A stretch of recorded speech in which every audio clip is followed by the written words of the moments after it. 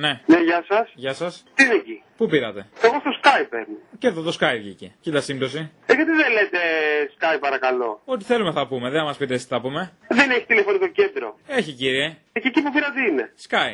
Και γιατί δεν λέει Skype παρακαλώ. Ε, γιατί ό,τι θέλω θα κάνω. Το γυρίσαμε στον ελληνικό. Ό,τι θέλω, ρε. Συγγνώμη, εγώ σου μιλάω άσχημα. Μου μίλησε στον ελληνικό. Εγώ δεν δέχομαι ελληνικού και τέτοια. Ωραία, πώς λέγεστε. Ευγενία. Καλά, δεν πας καλά. Ενώ εσύ είσαι εντάξει. Τι θες, ρε; Να ρωτήσω κάτι θέλω για το πρόγραμμα της τηλεόρασης. Ωραία, ρώτα, τι θες. Θέλω κάτι γιατί δεν μπαίνω στο ίντερνετ να δω σειρές και τέτοια και δεν υπάρχουν. Ε. Πω, πω, πρόβλημα μεγάλο, ε. Σταμάτησε η ζωή για σένα. Θέλω να δω μωρέ παλιά επεισόδια CSI και τέτοια. Βάρα καημένη, μην κάνει κανένα blackout και σβήσει το κομπιούτερ. Να έχεις μια πέτρα από δίπλα εύκαιρη, να τη δέσεις. Μόλις πέσει το βρεύμα, να πάει να φουντάσει το παράθυρο στη λίμνη. Βλαμμένος είναι αυτός. Καλά, φίλε, γεια. Χάρηκα πάντως.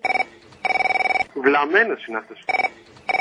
Γεια σας. Sky, Ναι, θέλω να κάνω ένα παράπονο. ναι. Από μια εταιρεία αγόρασα ένα διάδρομο, το Carrefour. Ένα διάδρομο; Ναι, Τι για το σπίτι; για το σπίτι.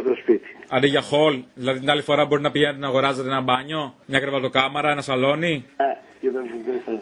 Και πήρε το διάδρομο τώρα, ξεκινήσατε. Άντε σου εύχομαι να πάει να πάρει και βεράντα την άλλη φορά. Και σου φταίει το καρφούρ. Ελληνοφρένεια έπεσα. Από το καρφούρ θα πάρει στη βεράντα. Πήγαινε κάπου που είναι εξειδικευμένη. Στο καρφούρ θα πάρει τη χλωρίνη και την ντομάτα. Ντομάτα μην πάρεις. Έχω φάει είναι μεταλλαγμένες όλες. Από αλλού να πας στο μανάβιαμα είναι.